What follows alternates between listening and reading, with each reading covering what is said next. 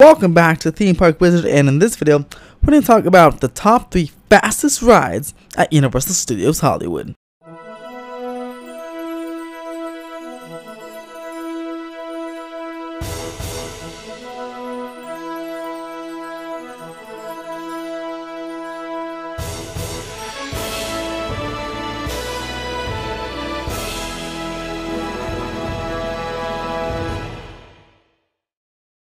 Universal Studios Hollywood is a unique park with a variety of attractions on two stories. Yes, the park has two stories.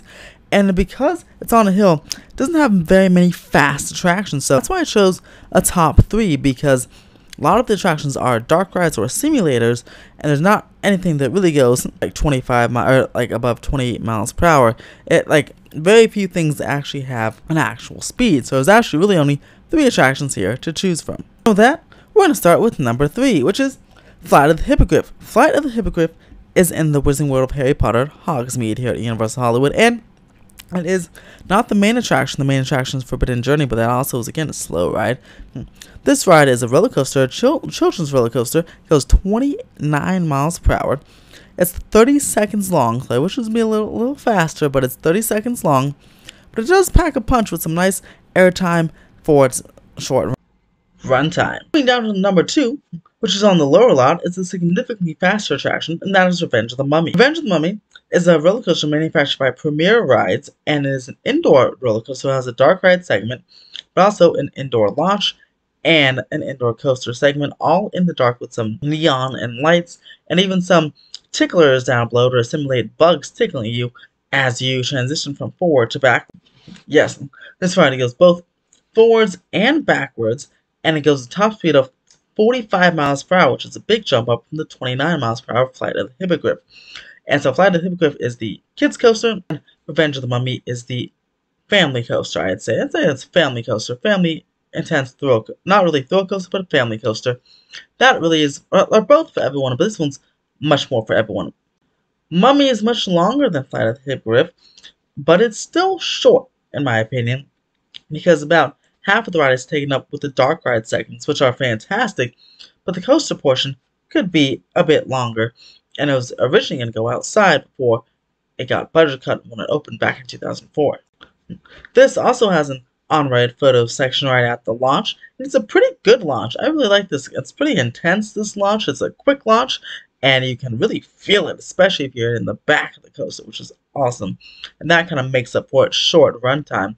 But I love it. Um, it goes a very nice speed, and it even has some bunny hops and hills in the relatively, you know, short show building. It doesn't. It's not tall or anything. It's mostly mostly rides on speed, but it definitely goes up and down quite a few hills in that show build. This is one of my favorite attractions in the park. So if you do visit the park, I highly suggest you ride Revenge of the Mummy. It also has single rider, and all these rides have express pass as well. And lastly, the fastest ride at Universal Studios Hollywood. For now, and I say for now, I'll get to that in a bit, but is Jurassic World at 50 miles per hour. Jurassic World, of course, is a boat ride, so it doesn't go 50 miles per hour the entire time, but it does go 50 miles per hour on the drop, and even though the drop's only a few seconds long, it does count as the fastest ride in the park. If you want more speed, or a high speed, a longer length, that again will be for Revenge of the Mummy but that ceiling goes 45 miles per hour. So Jurassic World is 50 miles per hour and is a fantastic attraction, even though it's a slow boat ride for most of the time. Jurassic World features in uh, several animatronic dinosaurs, very impressive screen technology, and you know can meet Blue, the Indominus Rex, uh, see Claire and Chris Pratt along the attraction. You can see a gyrosphere and many small dinosaurs as well, and even getting some surprises with um some some wet surprises in along the course of the track. So very iconic and a very great boat ride. Definitely check out Jurassic World. It is also one of my favorites in the park. And there you have it.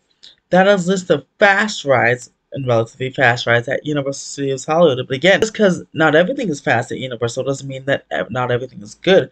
Universal has some fantastic attractions like the newly opened Mario Kart Bowser's Challenge, Tickle Ever Pets Off the Leash, and of course the iconic Studio Tour, which uh, subscribe to the channel because I'll be doing a fascinating history of that entire attraction, which basically led to the entire theme park coming soon on the channel. So subscribe for that awesome history video. But yeah, Universal and Harry Potter Forbidden Journey also is a fantastic attraction, even though that's not fast, but it's quite intense. And in fact, Forbidden Journey arguably is more intense than uh, most, or if not all, of these attractions on the list. There, the, uh, those are the three attractions. Which ones are your favorite attractions? Have you ever been to Universal Studios Hollywood? If so, um, um, are you excited for these attractions? Are you anxious for these attractions? Let me know in the comments below. Again, my favorite out of the three, I think, is The Mummy. But uh, Jurassic World is amazing as well. What do you guys think? Let me know in the comments below. Subscribe for more theme park updates and awesome videos like this. And again, that's Studio Tour History video at Universal. As always, have a very universal day.